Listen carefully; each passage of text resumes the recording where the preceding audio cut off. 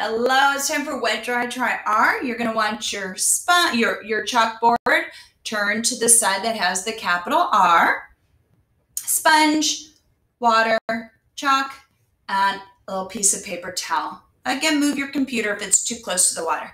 All right, let's use our finger and let's hover. Okay, starting at the top. Big line down, frog jump up, little curve to middle, and then diagonal down. All right, let's get that sponge in there.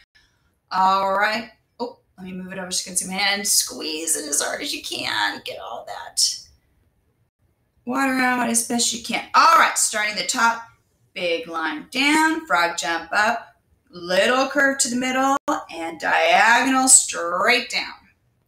All right, now get your, for dry, get your uh, paper towel, crunch it, crumple it all up. All right, and then start at the top, big line down, frog jump up, little curve to the middle, and diagonal straight down. All right, now you're ready to try. Get your chalk, start at the top, big line down, jump up,